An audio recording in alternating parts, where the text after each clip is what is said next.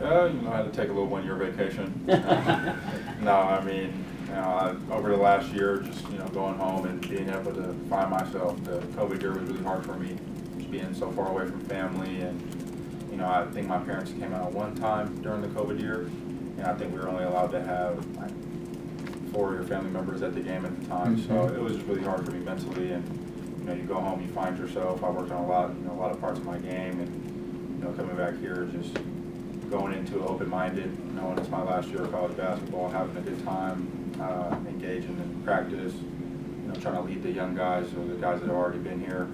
It's kind of funny because you leave and you learn a bunch of new plays, and you come back and you still know all the plays and stuff. So, you know, but I've, I've had a great time so far since I've been back, and you know, I'm just looking forward to you know getting out there and playing with the guys.